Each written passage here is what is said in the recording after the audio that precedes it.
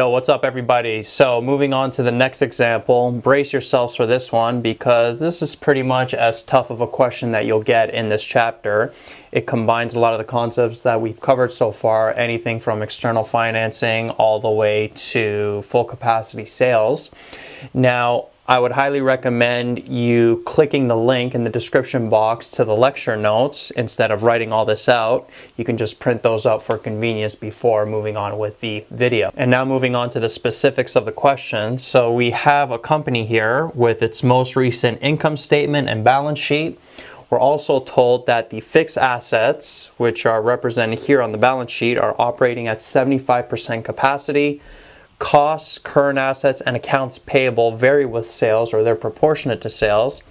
The company paid a $9 dividend on this net income here and will keep that payout ratio for the future. What is the external financing needed to support 40% growth in sales with no new debt or equity issued? So the first step you want to do is create a pro forma income statement. So we're told that we're growing the sales by 40%. So 450 times 1.4 would give us new sales of 630. We're also told that the costs vary with the sales, so they're also going to grow by 40%. So 400 times 1.4 gives us 560.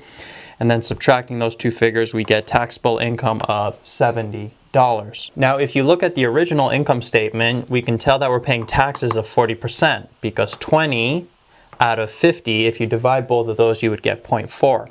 So assuming that we're paying the same amount of taxes for the pro forma income statement, we would pay $28 worth of taxes on that taxable income of 70. 70 times 0.4 gives us 28. So then subtracting the taxes from the taxable income, we would get a final net income of $42. Now we're also told that the company paid a $9 dividend and is going to keep that payout ratio. So on this net income of 30, $9 was paid as a dividend.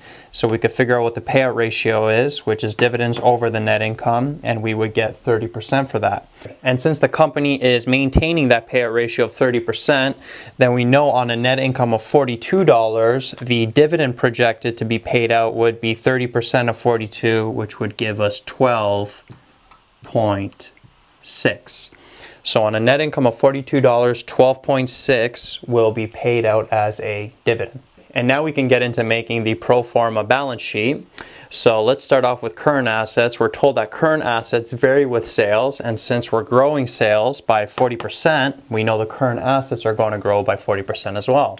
So 400 times 1.4 would give us 560.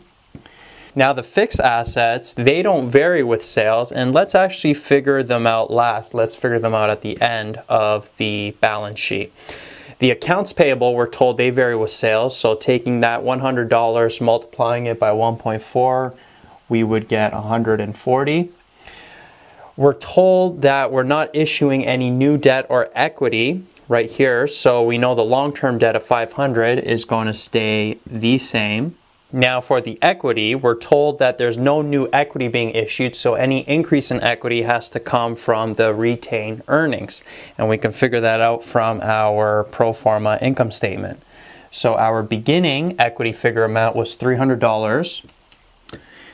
And then our net income is 42 out of that $42, 12.6 is being paid out as a dividend. So then adding everything up, we would get a final equity amount of 329.4. So that would be our equity right there, 329.4.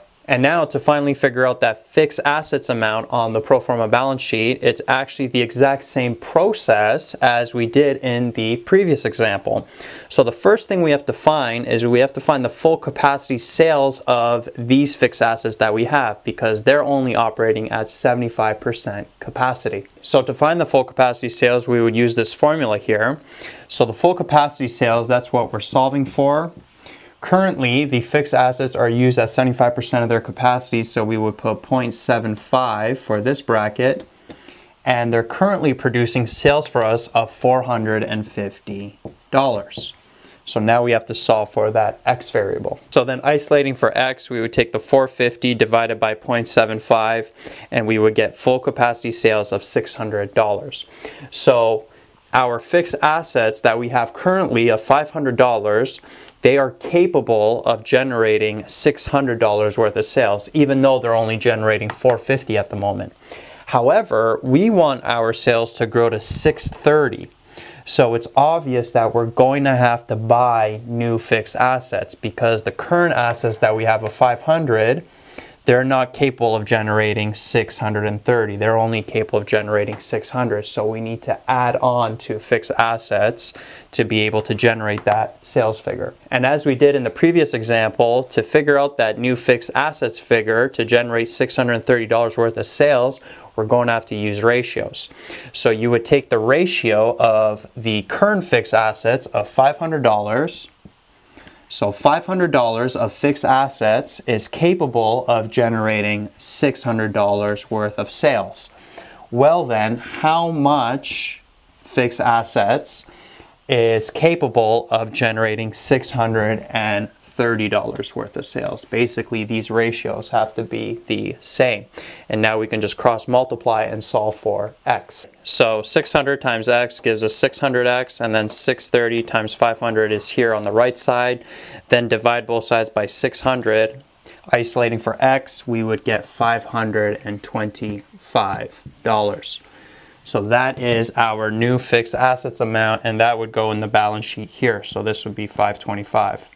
So we need $525 of fixed assets to generate $630 worth of sales. And now notice when we total both sides of the balance sheet, we get 1085 on the left side and then 969.4 on the right side, and they aren't balancing.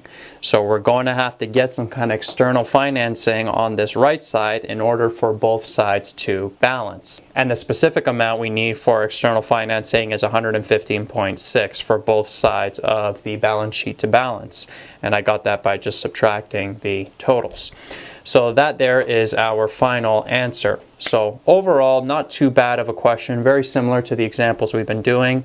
The trickiest part was figuring out what that new fixed assets amount would be to support that growth in sales up to 630. But uh, everything else is pretty much the same. The current assets, the accounts payable, they vary with sales. So you would grow those by 40% as well the long-term debt would stay the same at 500 because there's no new debt being issued. There's no new equity being issued, so that increase in equity came from the retained earnings, which we calculated as net income minus dividends. You get your balance sheet and then you realize that they don't balance and then you get that external financing needed figure of 115 point six. Yo, what's up guys? Thanks for checking out my channel. Hopefully you got some value from the video you just watched. If you did get some value, big favor to ask you, please like this video and subscribe to the channel. Any questions, any recommendations on things you'd like to see, please leave it in the comments section. Also check out the description box below for links to material and content related to the video you just watched. Peace out.